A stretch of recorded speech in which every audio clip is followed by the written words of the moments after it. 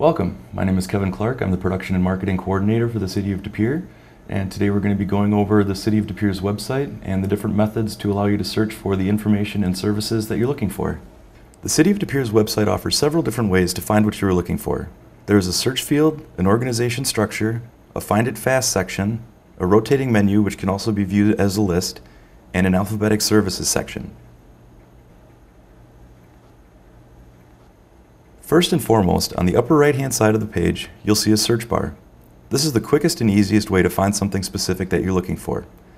Simply type in a keyword or keywords of the topic, and the built-in search engine will display a list of matches, starting with the closest match at the top. For example, if you're looking for information about the De Pere Dog Park, you can enter Dog Park in the search bar, and the first item is De Pere Dog Park. To get back to the home page of the City of De Pere's website, click on Home at the top of the screen. If you're looking for a specific department, the City Departments tab is another way to search. This process contains an organizational structure to help you look for what you are seeking. The drop-down menu contains the different departments that make up the City of De Pere. You'll notice that some of the listings have a small arrow following the name. These are sub-departments or services of that particular department. You have the option to go to the main department page by clicking the department name or go specifically to the area of that department you wish to view. Let's say you have a question about garbage and recycling collection. You can go to the City Departments, Public Works, and click on Streets. From there you can scroll down until you find Garbage and Recycling Guidelines. Clicking on the link will bring up the document containing the information on garbage and recycling. Once you're done reading, click the back button in your browser to get back to the Streets page.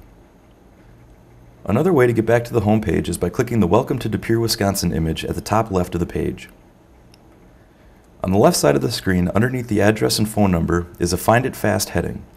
This allows users to see items pertaining to several different topics living in De Pere, business, visitor information, and videos and photos. So let's say you missed last week's council meeting. You can click on videos and photos and then click on the streaming video archives. This brings you to De Pere's Meetings on Demand site, where you can watch meetings whenever your schedule allows. On the right hand side of the main page, there is a menu ball which shows several keyword options. Mouse over this portion of the screen to rotate the sphere. Once the blue box shows up around the text, you can select the link and follow it to the appropriate page. All of these links can also be viewed in the list format by clicking on Prefer to see these links as a list. Another way to search is by going into Services A to Z. This menu alphabetically lists the services that the city offers. If you need to apply for a dog license, scroll down to D and there is a dog license application, allowing residents to print it, fill it out, and mail it into the city. The City of De Pere's website offers several different ways to find the information you are looking for. The search field at the top of the page is the simplest way to search for items on the site.